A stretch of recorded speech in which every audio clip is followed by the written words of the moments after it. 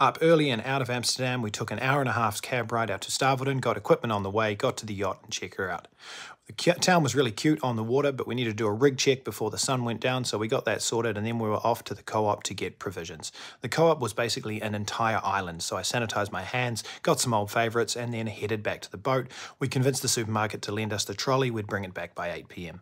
We had the coldest night's sleep ever, and then Ben found a dog while we were getting some equipment and some tools from the local dealer that was helping us out with the yacht.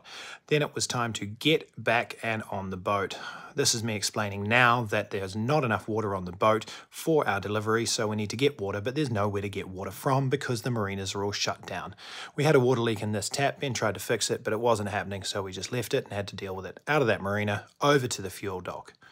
Stavoren's a really nice little town with a bunch of locks and it's super cute, but this is us here on the pontoon of the fuel dock. Tune in for part two when we head to Amsterdam.